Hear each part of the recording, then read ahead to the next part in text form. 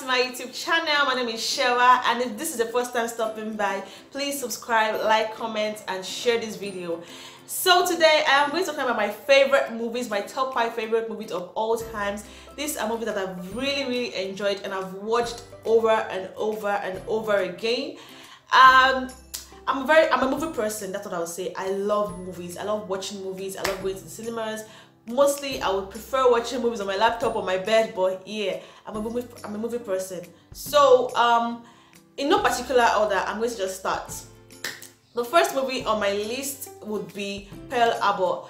Pearl Harbor it's it's a movie I watched while I was in secondary school so and it was interesting. I think I don't even love this movie the way my sister loves this movie. My sister can literally be watching the movie and be saying it word for word. That's how many times she has watched the movie. I love the movie so much. It was a different setting.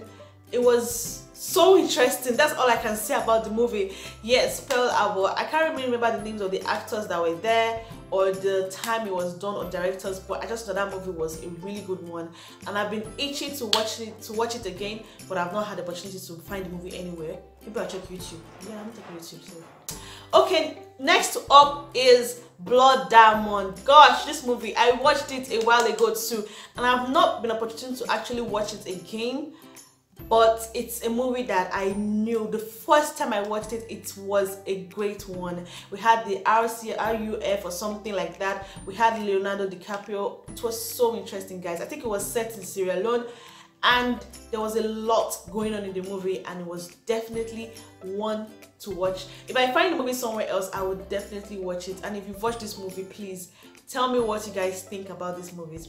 Next up i have is diamond ring.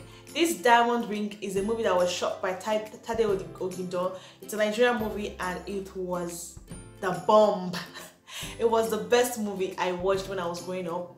I love a lot of Girls movies, Funafulayo movies, and um, another one, Tunde Kelani movies. They were always the bomb.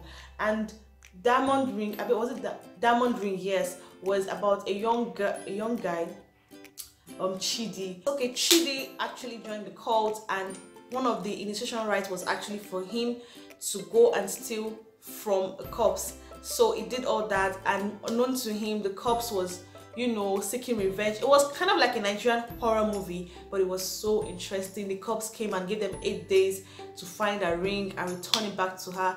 Meanwhile chidi already sold the ring and it was a roller coaster moving from places to places. We had um, Cast in the movie was Richard Richard Mofe-Damijo, who was Chidi's father. He played D Chief Dike. We had Sola Sobowale, who was Chief Dike's wife. We had um, Teju Babyface. God, that guy, it was a really good one. Buki Ajayi, you know, Liz Benson was the ghost, and it was the bomb. It made our childhood then. It was so interesting. It was horror. So we're watching it and we get scared when we're sleeping at night. It was it was that deep. Next is me before you i've watched this movie a lot and i wouldn't really say i, I love the ending of the movie. I was okay i can be kind of like romantic or enjoy romantic movies. I was hoping that the guy would get better you know be able to walk again but apparently nope it didn't happen that way. It ended up dying. It was so so touching. Emilia clarke was in the movie. I can't remember the guy's name but it was a different setting. I love the use of colors in that movie. I love the use of colors. What she was always, her costume was top notch, guys. Her costume was always, I loved her costume. It was kind of like, I wouldn't say childish, but it was just very, very pretty. Yeah, it was pretty and cute. I loved everything about that movie and I always watch it again and again and again.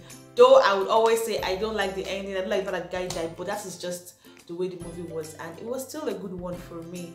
Now the final movie on my list is drumrolls harry potter. Come on guys. Who doesn't love who would not like harry potter? Harry potter is a movie that i actually read the book seven books. I read the, the books twice or three times. I've read the books three times or so. And watching the movie i have repeated the fact the movie itself got tired for me except while I watch them I know it's like um um what's the word it's fantasy and you know at some point when i was growing up i actually believed that you know i'm gonna go to school of magic but oh well don't come to nigeria so i actually love harry potter a lot of people are harry potter fans and i actually enjoyed the movie a lot i won't say like i'm a die-hard fan because i don't do all this um, Gryffindor, blah blah blah things. But I really really enjoyed the movie. I always I always try to imagine how J.K. Rowling came up with the story, how she thought of everything, the names, the magical tricks. How did she do that? I usually wonder how she thought of everything and put everything together and how the directors, the cast, all brought everything to life. I really used to wonder and imagine what she thought that led to her to think that made her to, to write a kind of story. So, but I can't really understand it, man. I mean, sitting down. Anyway, let me just stop. Let me just stop that right there. But sitting down and actually bringing out all those names, the storylines, everything, it was really, really huge for me. And I still enjoy the movie now. It's still on my laptop, and I'll still watch it some other time again. So yeah, these are like my five movies that I really really enjoyed and these are movies that I know that I would definitely watch again and I would absolutely enjoy it. Now if you've watched any of these movies you can tell me your thoughts and you know what what you thought about these movies and where I can find Blood Diamond and Pearl Harbor and what again. I think those are the two like I haven't really watched again like regularly because I don't have them anymore and um you can also tell me your top five movies of all times. I mean, I love a lot of movies. I love a lot of movies, but like right now, these are the top five off my head I can really think of, and I said yes, these are the good ones. And if you have your top five movies, tell me in the comment section. Let's interact. Let us share our movie. If you're a movie person, let me know in the comment section, and I'll be sure to reply every comment. And this is officially the end of this video. Thank you guys for sticking around. If you watch this video to this part, to this to this place, am I really MVP? You know. Thank you so much for watching this video and please remember to subscribe, like, comment and share this video and I will see you all in my next video. Bye.